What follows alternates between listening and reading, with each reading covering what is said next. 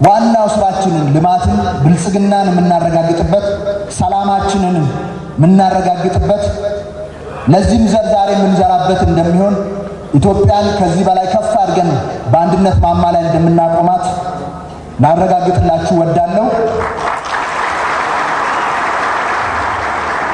በተለያየ ሴራ በተለያየ ችግር ከኦሮሚያ ክልል የተፈናቀሉ ዜጎቻችንን በቅርብ ጊዜ ሁሉንም ወደ ቀዬው፣ ወደ ቤቱ፣ ወደ ኦሮሚያ እንመልሳቸዋለን።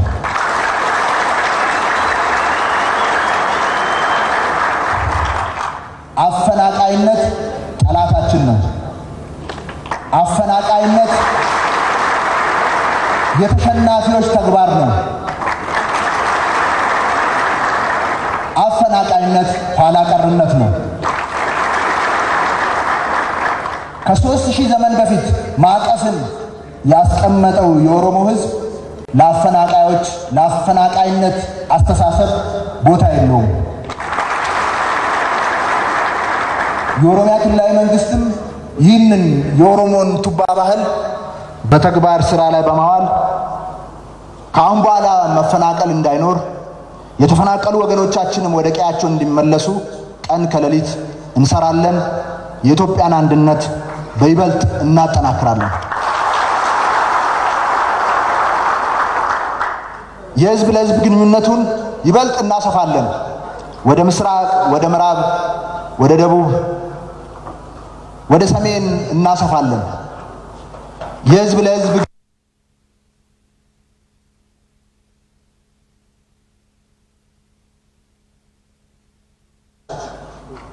ጽንፈኞች ኖሩም አልኖሩም አገራችን ትቀጥላለች። በጽንፈኞች አሉባልታ አንደናገርም። ስለዚህ በዚች የጀግኖች መፍለቂያ የኢትዮጵያኖች መመኪያ ሁሌም ለኢትዮጵያ መስዋዕትነት በመክፈል በሚታወቀው የአምቦ ህዝብ መሃል ተገኝታችሁ ይህንን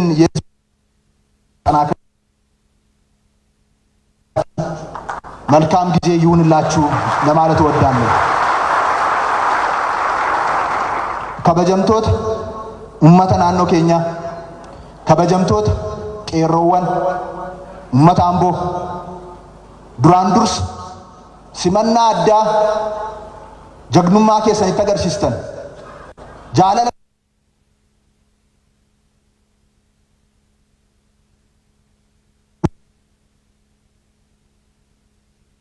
toomaa jechuun barbaada.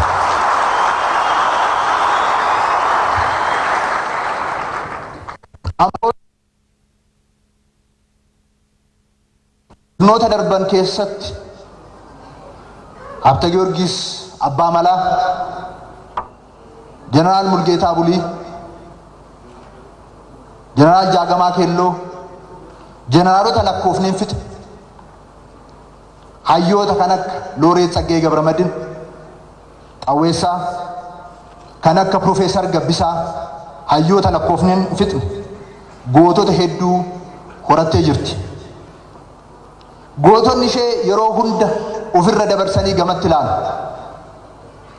Bara dukkanaa keessa bara har'a dhufu kana imala dheeraa laalanii abdii horatanii tokkummaaf aarsaa kaffalaa dhufaniiru.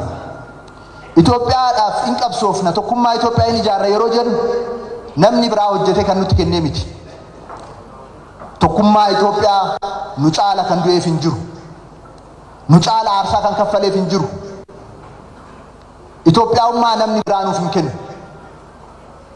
Kan aarsaatti kaffale kan halkanii guyyaatti dhamaan har'asitti dhamaa jirrudha. Qeerroof qarreen keenya waggoottan darban akka baalaa kichuun keenya yeroo tarca'u qawwee fuuldura dhaabbatee yeroo falmatu sukkaara konkolaataa tokkootiif jecha yeroo meeshaadhaan nu fixan amboon saba biraan dhiibne saba biraa ittuuyyuu hammate. ajjechaan irree jibbiinsa keessatti ni ijaarra. ajjechaan caalmatti jaalala dabaleef goota waan ta'eef.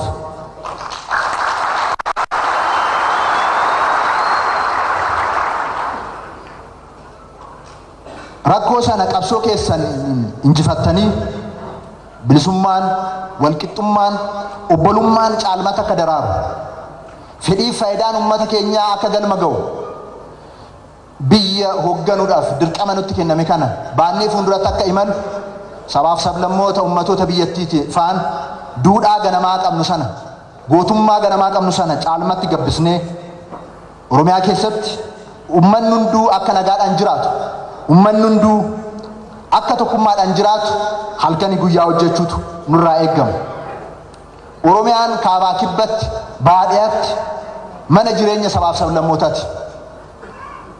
Oromiyaan hin jaalatti, hin hammatti, hin jiraachisti, hin kunuunsiti yeroo jennu jechaaf qofa oduu hin taane gochaan qabatamaadhaan aarsaa kaffalamaa dhufe keessatti waan agarreedha. Kanaafuu mootummaan naannoo Oromiyaas duudhaa ganamaa kana caalmatti cimsee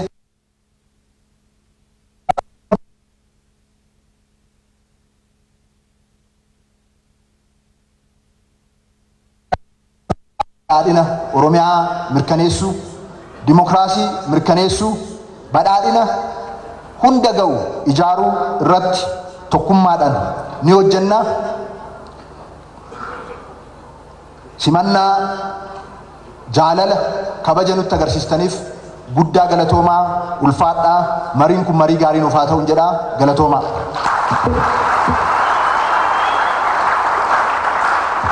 kabajamoo obbo Shimallis itti aanaa pirezidaantii mootummaa naannoo Oromiyaa hedduu galateeffannaa.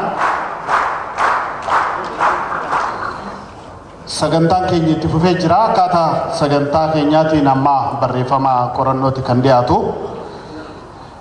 ቀጣይ ፕሮግራማችን የሚሆነው ጥናታዊ ጽሁፍ የሚቀርብበት ይሆናል።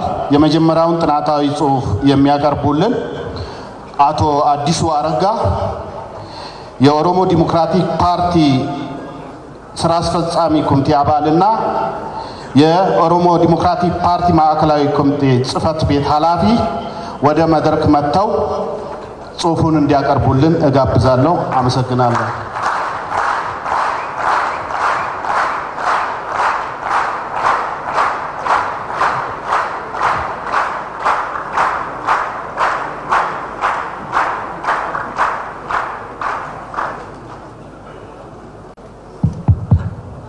akkam bultan nagaa የተከበራችሁ የዚህ ታሪካዊ መድረክ ተሳታፊዎች ዛሬ በዚህ ታላቅ መድረክ እናንተ ፊት ቆሜ ለውይይታችን መነሻ ይሆን ዘንድ አጠር ያለ ጽሁፍ ለማቅረብ እድሉን በማግኘቴ ትልቅ ኩራትና ደስታ ነው የሚሰማኝ። እንደገና እንኳን በደህና መጣችሁ ለማለት ወዳለሁ። ከዚህ በመቀጠል ለውይይት መንደርደሪያ የሆነን ዘንድ ያዘጋጀሁትን አጭር ጽሁፍ አቀርብላችኋለሁ። በጥሞና እንድትከታተሉኝ ጋብዛለሁ። ለውይይት መነሻ ለመድረኩ ክብር ብዬ ቆሜ ነው ማወራው። ስለዚህ ፍቀዱልኝ። የኦሮሞና የአማራ ህዝቦች ለዘመን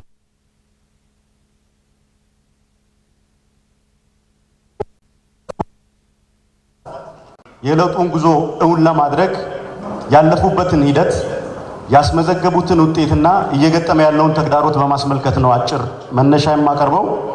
እንግዲህ የኦሮሞና የአማራ ህዝብ ትስስር የህዝብ ለህዝብ ትስስር የህዝቦች ወንድማማችነት ለዘመናት የኖረ አሁንም የቀጠለ ወደፊትም የሚኖር ነው።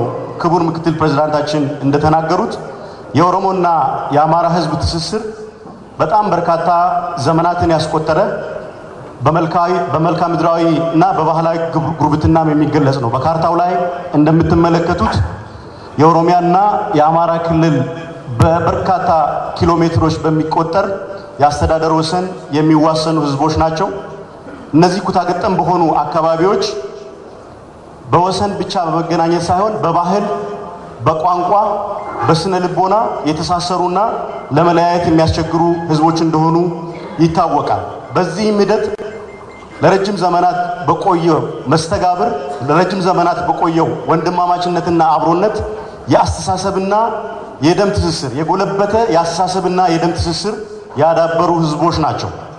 ይሄ ደግሞ የዝምድና ውጤት የሆኑ ከተራ ግለሰቦች ጀምሮ እስከ ነገስታት ድረስ የሚገልጽ የሚዘልቅ በደም ትስስር መገለጫ የሆኑ የአስተሳሰብ መገለጫ የሆኑ ጠቢባንን፣ ታላላቅ ሰዎችን፣ አርበኞችን ማየት እንችላለን። እዚህ በስዕሉ ላይ እንደምትመለከቱት እነ ሰዓሊና ገጣሚ ገብረ ክርስቶስ ደስታ፣ አርበኛ ኃይለማርያም ማሞ፣ ሎሬት ጸጋዬ ገብረ መድኅን፣ ጀግናው አርበኛ ራስ አበበ አረጋይ የዚህ ትስስር ማሳያ ናቸው። በ18ኛው ክፍለ ዘመን መጀመሪያ አካባቢ ንጉሥ ኢዮአስ የተባሉ ንጉሥ የዚሁ መገለጫ ምሳሌ የደም ትስስሩን የሁለቱን ህዝቦች የደም ትስስር የሚያሳዩ ግንኙነቱ እስከ ነገስታት የዘለቀ መሆኑን ማሳያ አድርገን መውሰድ እንችላለን። በኢኮኖሚውም ረገድ ከወሰድን እነዚህ ሁለት ወንድማማች ህዝቦች ከልዩነታቸው ይልቅ የሚያስተሳስራቸው የሚያመሳስላቸው ትስስር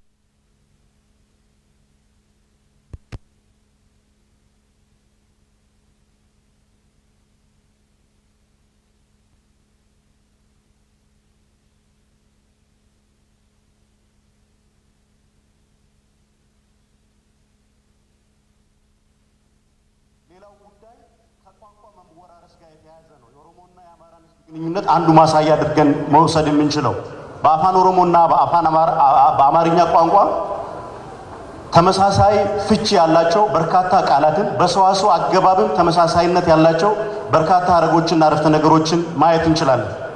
ለምሳሌ ዜና የሚለው ቃል ሴና ከሚለው ቃል የሚያያዝና የሚስማማ ቃል ሆኖ እናገኘዋለን። በከሳቴ ብርሃን ተሰማ ሀብተ ሚካኤል ዲክሽነሪ ውስጥም ይህንን ነው የምናገኘው ማለት ነው። ሌሎች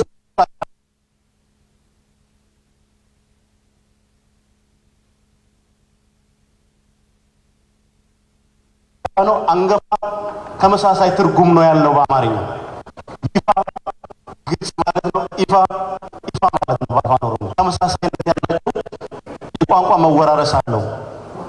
ሁለቱ ህዝቦች በታሪክ ውስጥ የነበራቸውንም ትስስር በምናይበት ጊዜ በጣም ረጅም ጊዜ የቆየ ነው። በኋላ ላይ በሚቀርበው ጽሁፍ ረዳት ፕሮፌሰር አበባው አያሌው በዝርዝር ስለሚሄድበት ብዙም ነገር ለማንሳት አልሞክርም። እዚህ ላይ ለመንደርደሪያ እንዲሆን ብቻ አጠር አጠር ያሉ ነጥቦችን አነሳለሁ። ለበርካታ ዘመናት እንደቆየ የታሪክ ድርሳናት ያሳያሉ።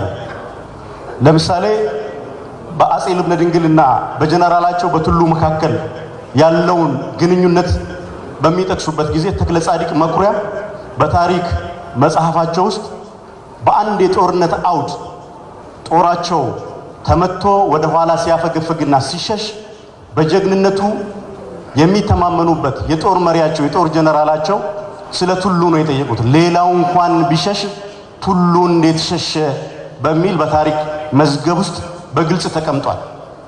ያ ማለት የሁለቱ ህዝቦች ትስስር በጣም በርካታ ዘመናትን የቆየ በርካታ ዘመናትን መቆየቱ ብቻ ሳይሆን ፖለቲከኞችና ሊቃን አሁን የሚያራምዱትን የሐሰት ትርክቶች የሚያፈርስ እስከ ጦር መሪነት እስከ ቤተ መንግስት የዘለቀ ግንኙነት እንዳላቸው ባለፉት ጊዜያት በሀገራችን በተከሰቱ የታሪክ መልካም አጋጣሚዎችም መጥፎ ገጽታዎችም በጋራ ሲሰሩ ሲንቀሳቀሱ እንደነበረ የሚያሳይ ነው ማለት ነው።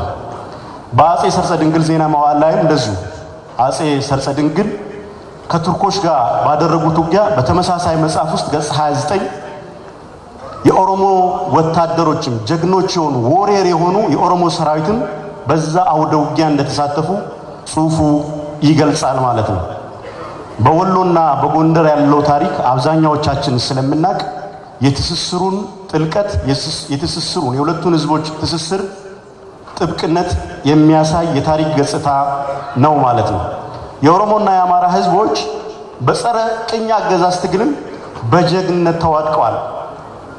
በአድዋ ተራሮች በጋራ ዘምተው በጋራ ተዋግተው በጋራ ሞተው በአንድ ጉድጓድ ተቀብረው የጥቁር ህዝቦች መኩሪያ የሆነውን የአድዋ ድልን ያስመዘገቡ ህዝቦች ናቸው። ይሄ ከተራ የአርበኝነት የውትድርና ስራ ብቻ ሳይሆን እስከ ጦር ስትራቴጂነት እስከ ነገስታት ድረስ የሚሄድ ነው። አባመላ ሀብቴ ዲነግዴን ጨምሮ እቴጌ ጣይቱ፣ አጼ ምኒልክ ደጃዝማች ባልቻ ሰፎ የአድዋ ጦርነት የአድዋ ድል ብሬኖች ናቸው፣ ስትራቴጂስቶች ናቸው፣ የዛ ድል መሪዎች ናቸው የነበሩት።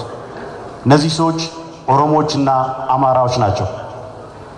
ከዛም ባለፈ በአምስቱ የአርበኝነት ዘመናት ጣሊያን ዳግም ኢትዮጵያን በወረረችበት ጊዜ የኦሮሞና የአማራ አርበኞች ታሪክ በአስደናቂ ገድልነት ሊነሳ የሚገባ ነው። የኦሮሞና የአማራ ህዝቦች ውስጥ የባንዳነት ታሪክ ጉልህ ስፍራ የለውም። ይሄም ሁላችንን ሊያኮራ ሊያስደስተን ይገባል። በዚህ የአርበኝነት ታሪክ ውስጥ ትልቅ ገድል የፈጸሙ እነ ራስ አበበ አረጋይ፣ እነ አቡነ ጴጥሮስ በጣሳ፣ እነ በላይ ዘለቀ፣ እነ ጀነራል ጀገማ ኬሎ በልባችን ውስጥ የሚኖሩ ጀግንነትን ከነሱ የምንማር ጀግኖች እንደሆኑ መውሰድ ማስመር ተገቢ ነው። ከዛም ባለፈ የአማራና የኦሮሞ ህዝቦች ለፍትህ፣ ለዲሞክራሲ፣ ለእኩልነት በሚደረግ ትግል ውስጥ አብረው ታግለዋል፣ አብረው ተዋድቀዋል። በተለይ የኦሮሞ ታጋዮች በአማራ አርሶ አደሮች ጉያ ስር፣ በአማራ አርሶ አደሮች ቤት፣ በአማራ አርሶ አደሮች ጓዳ ሆኖ ሂድን ውስጥ በመታገል ዛሬ ለደረስንበት የእድገት ደረጃ የፖለቲካ ደረጃ አስተዋጽኦ እንዳደረጉ ማየት እንችላለን ማለት ነው። ከማህበራዊ መስተጋብር አንጻርም ጉዳዩን በምናይበት ጊዜ የኦሮሞና የአማራ ህዝብ በጣም ጥብቅ የሆነ እጅጉን የተሳሰረ ማህበራዊ መስተጋብር ያለው ህዝብ እንደሆነ ማየት ህዝቦች እንደሆኑ ማየት ይቻላል። የአማራ ህዝብ ከአማራ ክልል ውጭ በብዛት የሚኖረው ኦሮሚያ ክልል ውስጥ ነው። የኦሮሞ ህዝብም እንደዚያው ከኦሮሚያ ክልል ውጪ በብዛት የሚኖረው በአማራ ክልል ነው። ያ ብቻ ሳይሆን ቅድም ባልኳቸው የአስተዳደር ወሰን አካባቢዎችም ኦሮሞውን ከአማራ አማራውን ከኦሮሞ መለየት አይቻልም። በባህል በተለያዩ ባህላዊ መስተጋብሮች፣ በእድር፣ በእቁብ፣ በሰርግ፣ በለቅሶ inseparable የሆነ የማይለያዩ ህዝቦች እንደሆኑ የጋብቻና የደም ትስስር እንዳላቸው ማየት ማውሳት ተገቢ ነው ማለት ነው። አንዱ ለሌላው መስዋዕትነት የሚከፍል ነው። ይሄን ፎቶግራፍ ወንድሜ ንጉሱ ጥላሁን ነው ያነሳው። ባለፈው ዓመት ጠብ ጫሪዎች ተከስተው በነበረው ችግር ይሄ አቶ መንግስቱ ጸጋ የሚባል በቡኖ በደሌ ገቺ ወረዳ ተፈጥሮ በነበረ ግጭት ወቅት ጎረቤቶቹን የአማራና የትግራይ ተወላጆችን ለመከላከል ግለሰብ ጠባጫሪዎች እኔን ገድላችሁ ነው እንጂ ወንድሞቼን ልትነኩ አትችልም በሚል በጣም ከባድ የአካል ጉዳት እጁ ላይ ከፍተኛ ስብራት ደርሶበት በዚህ ደረጃ መስዋዕትነት የከፈለ ሰው ነው። ይሄ መስዋዕትነት ህዝቡ ዘንድ ያለው የእርስ በርስ መተማመን፣ መፈቃቀርና አንዱ ለሌላው መስዋዕትነት ለመክፈል ያለውን ዝግጁነት ነው የሚያሳየው። ስለዚህ ህዝብ ለህዝብ መቼም ተጣልቶ አያውቅም። ህዝብ ለህዝብ መቼም ተጠላልቶ አያውቅም። ብልሽቱ ሌሎች ጋር ነው፣ ልሂቃን ጋር ነው፣ ብልሽቱ ፖለቲከኞች ጋር ነው የሚለውን ለማንሳት ያክል ነው። በግለሰብ ጠባጫሪነት የሚነሱ ግጭቶችም የከፋ ጉዳት ሳያደርሱ እንደሚጠነሰሰው ሴራ ቢሆን ኖሮ እንደተዘረጋው የሐሰት ትርክትና ፕሮፓጋንዳ ቢሆን ኖሮ የኦሮሞና የአማራ ህዝብ እስካሁን ድረስ ይተላለቅ ነበረ። ሆኖም ሁለቱ ህዝቦች ባዳበሩት መልካም ግንኙነት ግጭትን የከፋ ጉዳት ሳያደርስ በሚፈቱት ለመፍታት ባዳበሩት መልካም እሴት ግጭቶች ጉዳት ሳያደርሱ በዚህ አይነት ሁኔታ በእርቅ ሰላም አውርደው የሚኖሩበትን አግባብ ነው የምናየው ማለት ነው። በጸረ ጭቆና ትግሉም ተመሳሳይ አጋርነት ነው ያላቸው። አሁን ያለችውን ኢትዮጵያ በመቅረጽ በኩል ጭቆናን በመታገል በኩል በተለይ ከኢትዮጵያ ተማሪዎች ንቅናቄ ጊዜ ጀምሮ የኦሮሞና የአማራ ምሁራን ከፍተኛ አስተዋጽኦ፣ ከፍተኛ መስዋዕትነት እንደከፈሉ ለኢትዮጵያ ማየት እንችላለን። የፊውዳል ስርዓቱን ጭቆና በመቃወም እንደነ ኃይሌ ፊዳ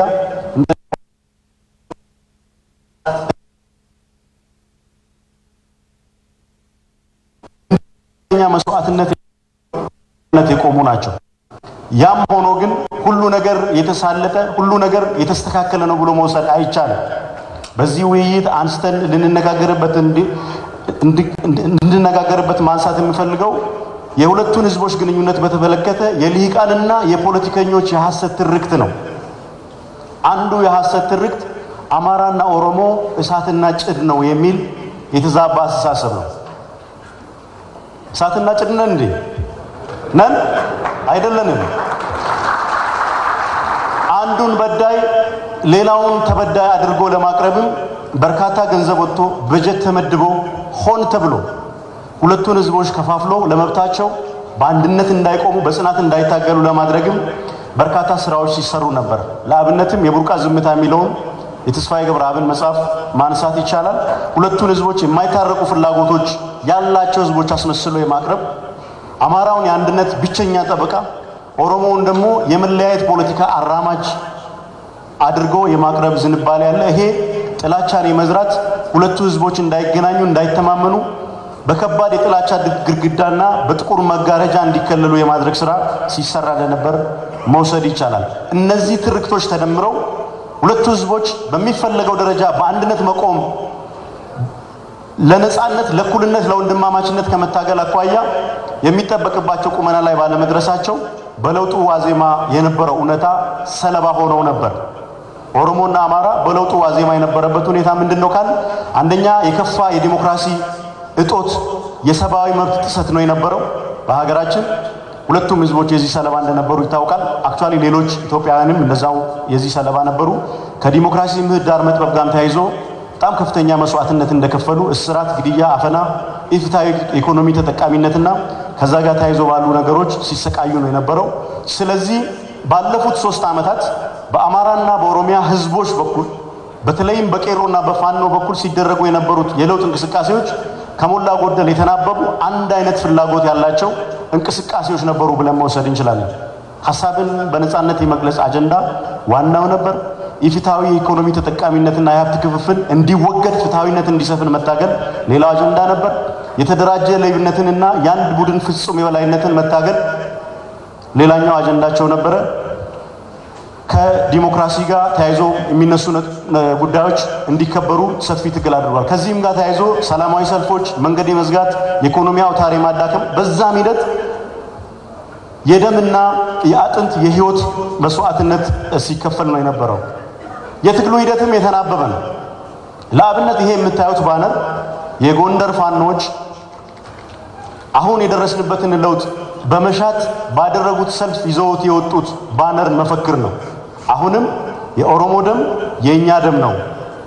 ኦሮሞ ላይ ቄሮ ላይ የሚፈጸመው ግድያ ይቁም።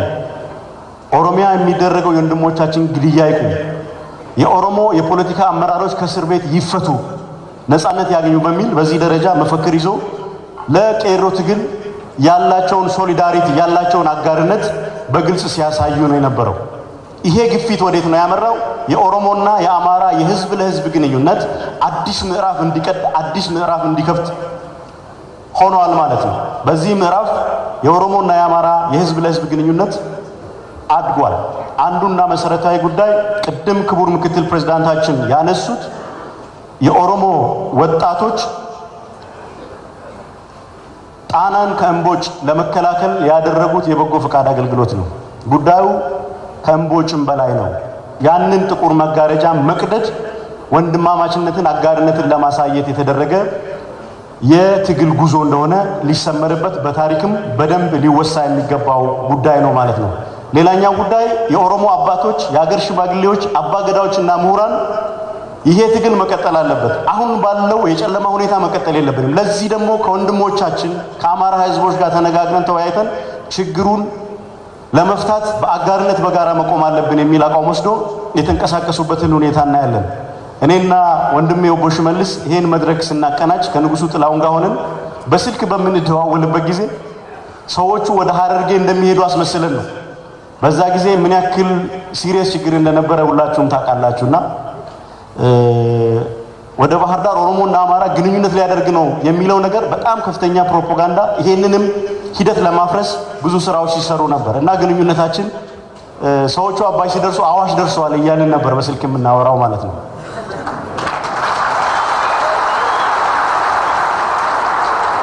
ዛሬ የደረስንበት ምዕራፍ እንዲሁ ዝም ተብሎ የመጣ አይደለም። ብዙ መስዋዕትነት የተከፈለበት መሪዎቻችን ብዙ የጀግንነት ገድል የፈጸሙበት አጠቃላይ የነበረውን የሐሰት ትርክት የቀየሩበት ሂደት እንደሆነ ማየት ይቻላል። በዛም ሂደት የኦሮሞና የአማራ ሕዝብ ወንድማማችነት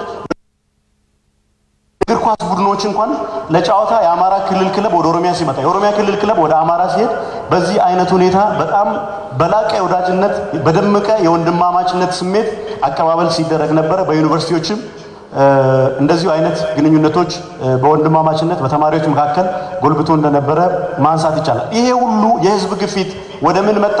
ወደ ፖለቲካ አመራሮቹ ወደ መተባበር፣ የህዝቡን ፍላጎት የማድመጥ የህዝቡን የነጻነት፣ የእኩልነት፣ የወንድማማችነት ጥያቄ ለመመለስ እኛስ ምን እናድርግ የሚል ግፊት ነው ያመጣው ማለት ነው። ስለዚህ መሪዎቻችን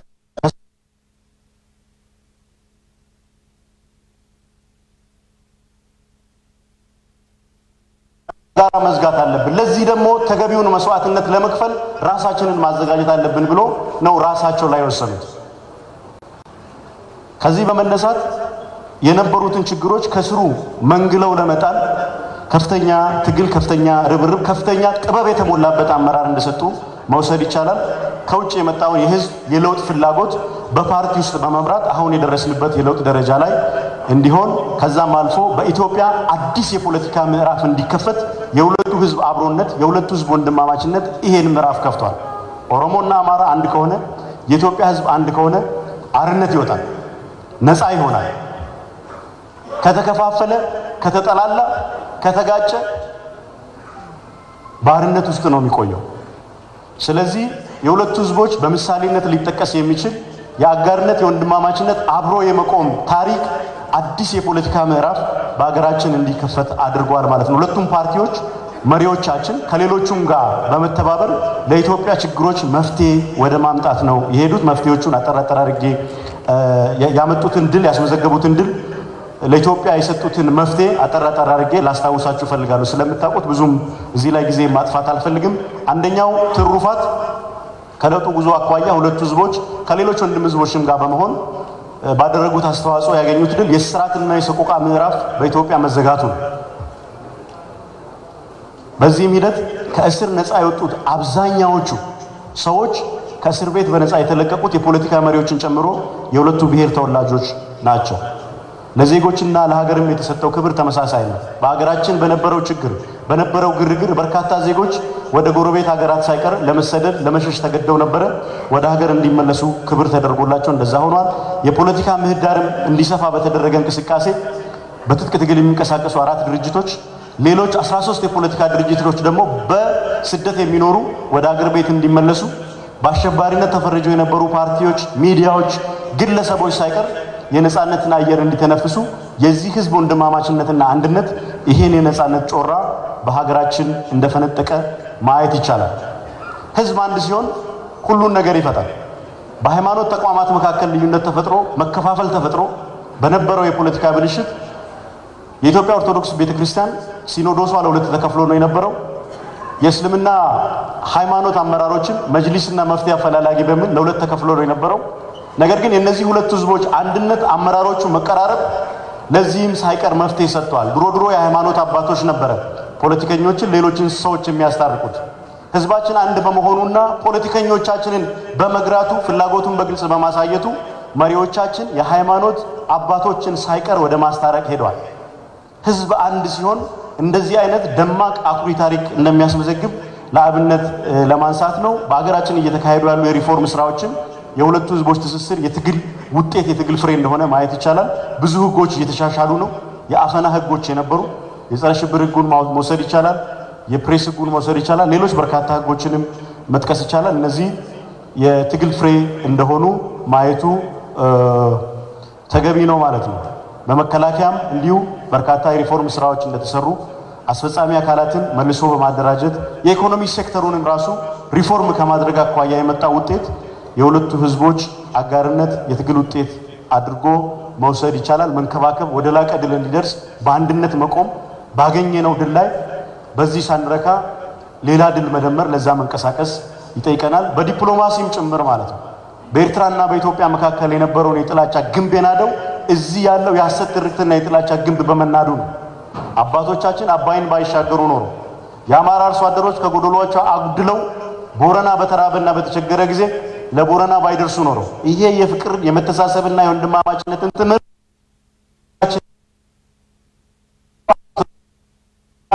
ህዝቦች መካከል ለዘመናት የተጋረደው ጥቁር መጋረጃ አይቀደድም ነበር። ይሄን ለመሪዎቻችን ለእኛ ለፖለቲከኞች ስላስተማራችሁ እጅግ አድርገን እናመሰግናቸዋለን። ሌላው በአማራም በኦሮሞም ሌሎች ጭቁን የኢትዮጵያ ብሔር ብሔረሰቦች ላይ ግድያን በመፈጸም የተደራጀ ዘረፋን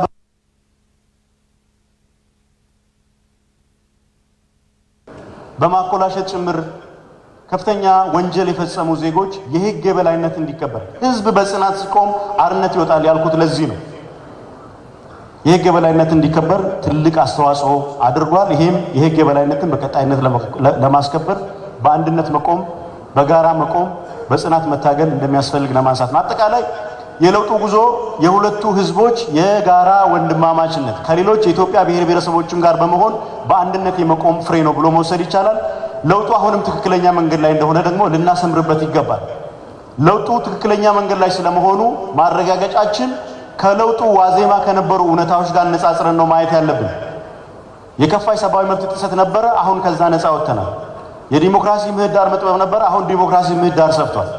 እስራት፣ ግድያና አፈና ነበረ፣ አሁን ሁሉም ሰው በነጻነት የሚንቀሳቀስበት ኢፍትሐዊ የኢኮኖሚ ተጠቃሚነትንም ለማረጋገጥ እንዲሁ በርካታ የሪፎርም ስራዎች እየተሰሩ ስለሆነ ለውጡ በደንብ እንዲጠናከር እንዲጎለብት ማድረግ ነው። ይሄ ለውጥ ጉዞ ግን እንደ ማንኛውም የለውጥ ጉዞ በተግዳሮት እንደተሞላ ማየቱ ተገቢ ነው።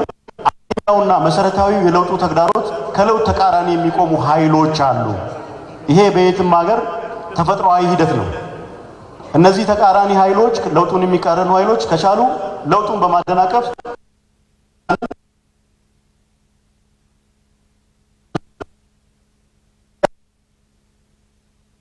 ፈጽመው ከተጠያቂነት ከህግ የበላይነት ተጠያቂነት ለማምለጥ እንቅስቃሴ የሚያደርጉ ናቸው። ይሄን ደግሞ ለማድረግ ሁለት ህዝቦችን ወንድማማች ህዝቦችን ማጋጨት ማጋጨትና መከፋፈል የሚችሉ ማንኛውንም የክፍፍል መሳሪያ በመጠቀም አቅደው ነው የሚሰሩት። ጥርጣሬን የሚያሰፉ ፕሮፓጋንዳዎች በስፋት ነው የሚነዙት ማለት ነው። በርካታ አብነቶችን መጥቀስ ይቻላል፣ ግን ካለን ጊዜ አንጻር ሁላችሁም ስለምታውቁት ይህንን አጠር አድርጌ በዚሁ አልፋለሁ። ሌላው የለውጣችን ጉዞ ተግዳሮት የብሔር ጽንፈኝነት ነው። ህዝቦችን ከሚያስማሙ ጉዳዮች ይልቅ የሚያካርሩ የሚያለያዩ በሺህ የሚቆጠር አንድ የሚያደርገን ነገር እያለ ሊለያየን የሚችል አንድ ጉዳይ ላይ ርካሽና ተራ የፖለቲካ ተቀባይነትን ለማግኘት የሚደረጉ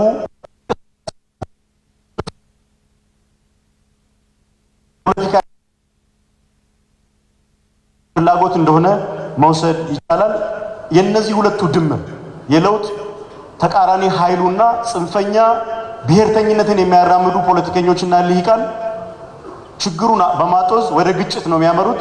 ግጭት ደግሞ እንደምናየው ወንድማማቾች መካከል የሞት የአካል መጉደል፣ መፈናቀል እያስከተለብን ነው። የሰብአዊና ዲሞክራሲያዊ መብቶች ህገ መንግስታዊ መብቶች እንዳይከበሩ እያደረገ ነው።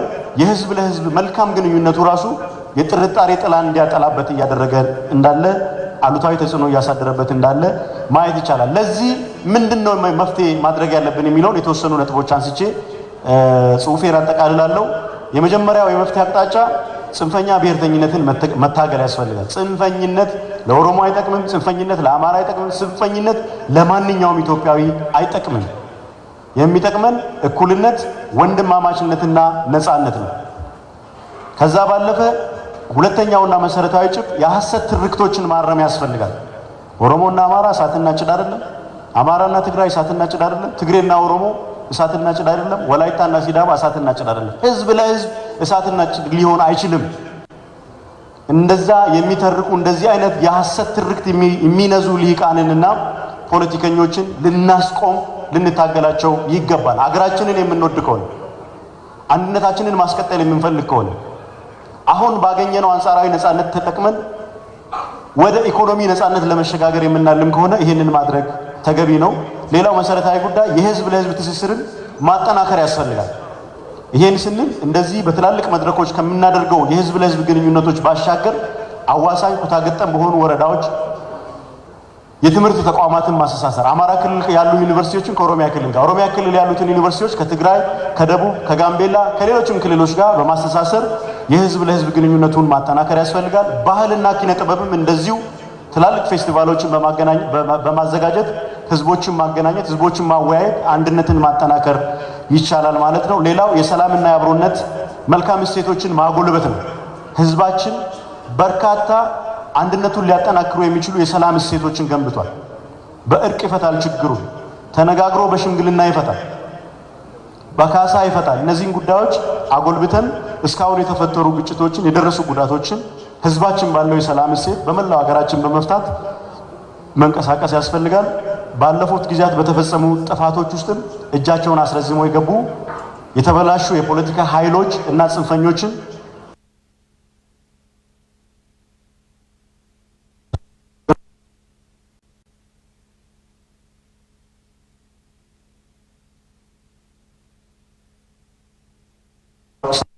በሁሉም ክልል እንደዚሁ የተፈናቀሉ ወገኖች ቶሎ ወደ ነባር ቀያቸው እንዲመለሱ ማድረግ ተገቢ ነው። እነዚህን እንደ መፍትሄ አቅጣጫ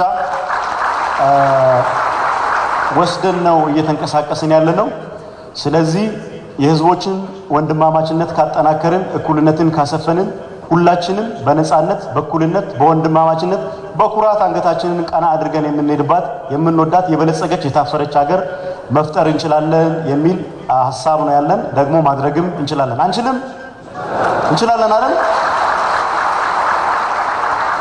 ስላዳመጣችሁኝ እጅግ በጣም አድርጌ ያመሰግናለሁ። እግዚአብሔር ያክብራችሁ። አቶ አዲሱ አረጋን እናመሰግናለን። kabajamtoota daawwattoota keenya walitti deebinee jirra. Nama daawwannee walitti deebine egaa waltajjii. Waltajjii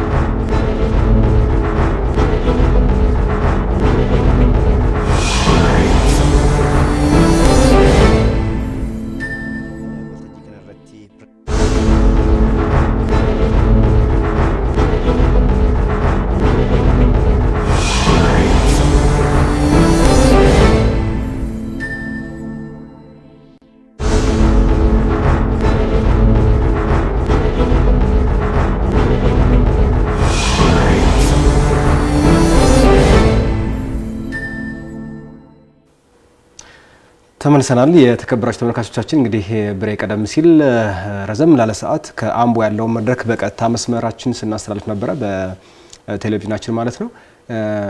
የጥናትም ጭምር ቀርቧል። እንግዲህ አቶ አዲሱ አረጋ የኦሮሞ ዴሞክራሲያዊ ፓርቲ ጽህፈት ቤት ኃላፊ ማለት ነው ጥናቱን አቅርበዋል።